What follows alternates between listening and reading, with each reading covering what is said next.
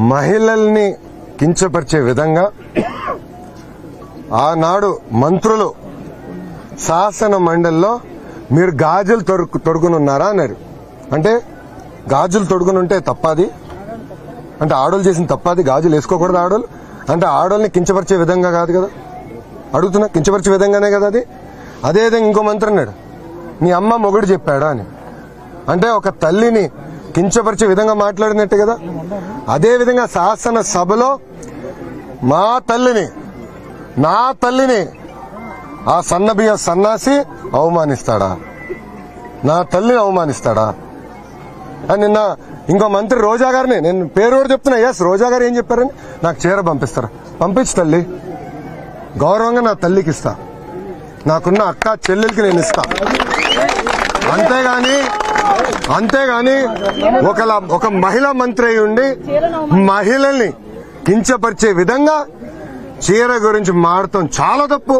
దానికి రోజా గారు బహిరంగంగా క్షమాపణ చెప్పాల్సిన అవసరం మొత్తం మహిళకి మహిళలకి క్షమాపణ చెప్పాల్సిన అవసరం చాలా చాలా ఉంది. అంటే ఈ రోజు జరిగిన పరిణామాలన్నీ మీకు ఎలా అనిపిస్తున్నాయి? ఏదైతే తెనాలి గవర్నమెంట్ హాస్పిటల్ దగ్గర మీరు వచ్చారు కరెక్ట్గా మీరు ఎంటర్ అయ్యారని తెలుసుకుని డెడ్ డెడ్ బాడీ పంపించడం జరిగింది. ఇక్కడికి వస్తే ఇక్కడ రాళ్ళతో దాడి చేశారు? ఎన్నింటినీ ఎలా చూడాలి? మీరు చూస్తే ఇరవై నాలుగు గంటలు అయిపోయింది పాపం. తిరుపతి అమ్మని అతి దా- దారుణంగా కిరాతకంగా చంపేసి. పోస్ట్ మార్టం చేయలే. నేను తెలుసుకున్నా ఇంకా పోస్ట్ మార్టం చేయట్లేదని. ఎందుకు చేయట్లేదు నేను బయలుదేరిన హాస్పిటల్కి? ఎందుకంటే మా సొంత నియోజకవర్గం తెలుసుకోవాల్సిన బాధ్యత నా పైన ఉంది. నేను వెళ్తే హడాడడాడిగా పోస్ట్ మార్టం చేసి పది నిమిషాలు. చేసి పంపించాలని ప్రయత్నించాను ఓకే సంతోషం. కనీసం అప్పుడన్నా చేశారు అనుకున్నా. పంపించారు. ఇక్కడికి వచ్చి బాడీ చేసి నేను వచ్చాను. బంధువులు కూడా ఇన్ఫర్మేషన్ లేదు.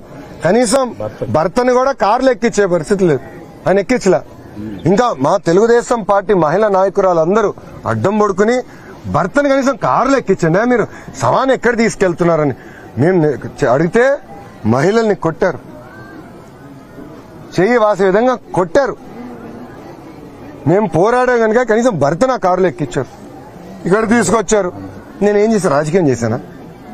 నేనేం చేశాను కుటుంబానికి అండగా నిలబడతా అని చెప్పా. వాళ్ళిద్దరు పిల్లల్ని చదివిస్తాను. నేను హామీ ఇచ్చా శ్రీనివాసరావు గారు. అంత్యక్రియలు అయింది? అది రాండి. కూర్చుని మాడుకుని ఎక్కడ చదివిస్తారు ఏంటి మీరు చెప్పండి నేను తప్పనిసరిగా ఆదుకుంటాను. ఇద్దరు బిడ్డలు నేను చదివిస్తానని చెప్పాను అది మీడియా మిత్రులు చెప్పేదానికి వచ్చిన తప్ప నేను చేసింది? అంటే మాడకూడదా మేము మీడియా? మాకు ఆ స్వేచ్ఛ లేదా? అంటే ఎంత అన్యాయమో ఒక్కసారి మనందరం ఆలోచించాలి. అంటే ఎలాంటి పరిస్థితి ఆంధ్ర రాష్ట్రంలో ఉందో ఒక్కసారి ఆలోచించాలి. దానికోసం నేను ఉన్నానని చెప్పేందుకు ముప్పై దాడి జరిగిందా? లేకపోతే లొకేషన్ చూసి ఎమ్మెల్యే భయపడుతున్నాడా? వైసీపీ భయపడుతున్నాడా? వాళ్ళు భయపడుతున్నారో పిల్లల్లాగా పారిపోతున్నారో వాళ్ళని మీరు అడగాలి. ఇక్కడ భయపడేవాడు ఎవడు లేడు.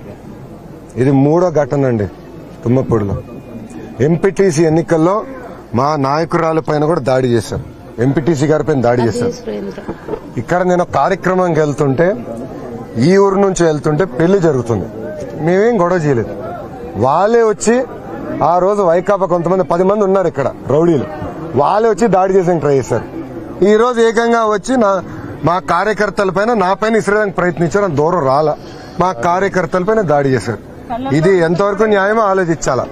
అంటే వాళ్ళు దాడి చేస్తే భయపడతాం అనుకుంటున్నారు లేదంటే పారిపోతున్నాం అనుకుంటే మటుకు చాలా పొరపాటు పడుతున్నారు. ఇక్కడ ఎవడు పారిపోయాడు లేదు. అరే అది కాదే. ఎమ్మెల్యేకి ఇప్పుడన్నా బుద్ధి రావాలి కదా. ఎంపీటీసీ ఎన్నికలను ఓడిపోయినావు. నీకు మెజారిటీ లేదు. అయినా కూడా దాడులు చేపిస్తే ఇంక నీకు రేపు ఎట్ట గెలుస్తావు నువ్వు? డిపాజిట్ కూడా రాదు. ముఖ్యంగా ఏదైతే ఈ అత్యాచారం చేసి హత్య చేసిన వ్యక్తి మీ అనుచరుడు అని చెప్పి వాళ్ళు ఆరోపిస్తున్నారు ఇంతకు ముందు గొడవ చేసిన వాళ్ళు వైకాపా కార్యకర్తలు ఆరోపిస్తున్నారు. అతన్ని శిక్షించాలని వాళ్ళు డిమాండ్ చేస్తున్నారు. నేను అదే అడుగుతున్నా కదా. నేను అడే నేనే అదే అడుగుతున్నా కదా. నేను ఏమన్నంటే పార్టీల అతీతంగా ముగ్గురు ఇన్వాల్వ్ అయ్యారన్నారు. శ్రీనివాసరావు గారు ముగ్గురు పేర్లు చెప్పారు. మన తిరుపతి అమ్మ వాళ్ళ కొడుకు కూతురు మూడు పేర్లు చెప్పారు. ఎందుకు ఒక పేరు తీసేశారని అడుగుతున్నా. అంటే వాళ్ళు ఏ పార్టీ అని అడుగుతున్నా. ఆ వ్యక్తి పేరు మీరు ఎందుకు ఎఫ్ఐఆర్లో పే- తీసుకోలేదు? ఎందుకు ఆ వ్యక్తిని మీరు అరెస్ట్ చేయలేదని నేను సూటిగా ప్రశ్నిస్తున్నా. అంటే ఆ వ్యక్తి టీడీపీ అతనన్నా? ఆ వ్యక్తి నా మిత్రుడనా ఎందుకు మీరు అతని శిక్షించలేదు? ఎందుకు మీరు అతని రిమాండ్ తీసుకెళ్ళేదు ఎందుకు మీరు యాక్షన్ తీసుకో తీసుకోలేదు? నేను సూటిగా ప్రశ్నిస్తున్నా. దానికి సమాధానం చెప్పండి ఇక్కడ వచ్చి ఎందుకే గొడవపడాలా అధికారంలో ఉంది మేమా వాళ్ళా? నేను అధికారంలో ఉంటేనా? ఒక తల్లి వైపు ఒక అక్క చెల్లి వైపు ఎవరిని అసభ్యంగా చూస్తే వాళ్ళు బతికే పరిస్థితి ఉండదు ఆంధ్ర రాష్ట్రంలో. That is Telugu Desam party. Prakasam జిల్లాలో తమ్ముడు ఒక నిమిషం. ప్రకాశం జిల్లాలో చంద్రబాబు నాయుడు గారు ముఖ్యమంత్రిగా ఉన్నప్పుడు ఇట్లనే ఒక మహిళ పైన అత్యాచారం చేసి చంపేస్తే ముఖ్యమంత్రి గారు డీజీ గారు ఫోన్ చేసి రెండు గంటలు ఇస్తున్నా.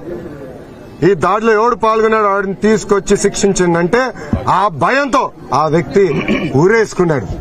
That is Telugu Desam party. That is CBN అంతేగాని ఈ పెరుకోల్లాగా మేం పారిపోయలేం కాదు. దీని ఇంకా ఎవడున్నా? నీకు మొగాడవుతే శిక్షించా? దమ్ము ధైర్యం ఉంటే శిక్షించు. ఇరవై ఒక రోజులు ఇస్తున్నా. దిశా చట్టం కింద ఊరేయ్. అప్పుడు మాట్లాడదాం తప్ప ఈ దొడ్డి దారి వచ్చి మా పైన ఏదో దాడి చేస్తే మేము పారిపోతున్నాం అనుకుంటే మటుకు చాలా పొరపాటు పడుతుంది. ఈ ప్రభుత్వం ఈ పనికిమాల పార్టీ. అంటే మీ డిమోరలైజ్ చేయడానికి అడుగుతున్నా ఇక్కడ ఎవరే డిమారలైజ్ అయింది? ఎవడే ఇక్కడ పారిపోయింది? వాళ్ళు పిల్లిలాగా పారిపోయారు. గుర్తుపెట్టుకో. తెలుగుదేశం పార్టీ కార్యకర్తలు పారిపోయే కార్యకర్తలు కాదు. ఎస్ ఆనాడు జగన్ రెడ్డి తండ్రి నూట అరవై మంది కార్యకర్తలు చంపాడు. ఒక అనంతపూర్ జిల్లాలోని. ఎవరన్నా పారిపోయారే అనంతపూర్ జిల్లాలో? గట్టిగా నిలబడుతున్నాం. అది మాకున్న గొప్పతనం. అది మాకున్న ఎల్లో బ్లడ్ ఎవ్వడు మమ్మల్ని ఆపలేడు. అది వాళ్ళు గుర్తు పెట్టుకోవాలా మేము పేటీఎం బ్యాచ్ కాదు. డబ్బులు కొడితే పరిగెత్తుకుంటూ వచ్చేది డబ్బులు అయితే పారిపోయేది. పార్టీ కోసం ప్రజల కోసం నేను నిలబడదు ఈరోజు ప్రజల కోసం నేను వచ్చా. అదా నేను చేసిన తప్పు? ఎస్ నేను అడుగుతున్నా ఉమెన్స్ కమిషన్ చైర్పర్సన్ మీకు నిజంగానే చిత్తశుద్ధి ఉంటే ఈరోజు ఎవరైతే మహిళలు మహిళల్ని కించపరిచే విధంగా మాట్లాడారో ఏ మంత్రి అయితే చీరల గురించి మాట్లాడో కేసు పెట్టమ్మా. పిలువమ్మా వాళ్ళని ఎంక్వైరీకి ఎందుకు మహిళల్ని కించపరిచే విధంగా మాట్లాడారని? మీరు అడగండి అన్న చెప్తున్నాను సార్ నిన్నే ఎనిమిది వందల మందిపై ఊరికో ఉన్మాది పేరుతో మీరు బుక్ రిలీజ్ చేశారు. కమిషన్ చైర్పర్సన్ పద్మ కూడా ఇచ్చారు. కానీ ఎంతసేపు తెలుగుదేశం పార్టీ దీని ఉంది తెలుగుదేశం పార్టీ నేతలు ఉన్నారంటున్నారు. కానీ మీరు బుక్లో వైసీపీ ప్రజాప్రతినిధులు ఉన్నారని ప్రచురించిన వాళ్ళకి నోటీసులు సర్వ్ కూడా చేయలేదు చేయలేరు వీళ్ళు. ఏది చేయలేరు. ఎందుకంటే ప్రతి దాడిలో వైకాపా కార్యకర్తలు నాయకులు ఇన్వాల్వ్ అయి ఉన్నారు కనుక భయపడుతున్నారు. ఏమైనా చేయాలంటే భయపడుతున్నారు. ఎక్కడ లాగితే మొత్తం బయటపడుతుందా అన్న భయం వాళ్ళలో పుట్టుకుంది. అందుకే యాక్షన్ ఈ రోజు ఎస్పీ గారి స్టేట్మెంట్ చూస్తే కనుక మొత్తం కూడా కేసు నీరు కార్చే విధంగా మొత్తం కూడా ఉంది. ఎందుకంటే అక్కడేమో పోస్ట్ మార్టం నివేదిక రాలేదు ఫోరెన్సిక్ నివేదిక ఆ, రిపోర్ట్ రాలేదు ఏది రాలా ఏది రాకుండా ఆయన అక్కడి నుంచి డెడ్ బాడీ కూడా రాలా. అప్పుడే అప్పటికే అక్కడ దీన్ని ఎలా చూడాలి? కేసు ఏమైనా నీరు కార్చే హండ్రెడ్ పర్సెంట్. దీని వెనకాల వైకాపా కార్యకర్తలు ఉన్నట్టు నాకు అనిపిస్తుంది. అందుకే కేసుని నీరు గారు చేస్తున్నారు. ఒక వ్యక్తి పేరు కూడా చెప్పారు. అతను ఇన్వాల్వ్ అయి ఉన్నాడని శ్రీనివాసరావు గారు నాకు పర్సనల్గా చెప్పారు. నాకు చాలా స్పష్టంగా చెప్పారు. అడ్డగోలుగా జరిగింది. నేను ఇప్పుడు అడుగుతున్నా ఇరవై ఒక రోజులు టైం ఇస్తున్నా ఈ రోజు నుంచి. ఇరవై ఒక రోజు నేను మళ్ళీ ఊరికి వస్తానమ్మా. నేను వస్తా. నా కుటుంబానికి అండగా నిలబడతా. ఇరవై ఒక రోజుల్లో ఏదైతే మహిళా హోంమంత్రి గారు ఉన్నారు కదా మహిళా హోంమంత్రి గారు ఉన్నారు కదా యాక్షన్ తీసుకోమనండి. యాక్షన్ తీసుకోమనండి మహిళా హోంమంత్రి గారు. ఇరవై ఒక రోజుల్లో దీని వెనకాల ఎవరున్నారో వాళ్ళకి ఉరశిక్ష వేయాల్సిన బాధ్యత ఈ ప్రభుత్వం పైన మహిళా హోంమంత్రి గారి పైన జగన్మోహన్ రెడ్డి గారి పైన ఉంది.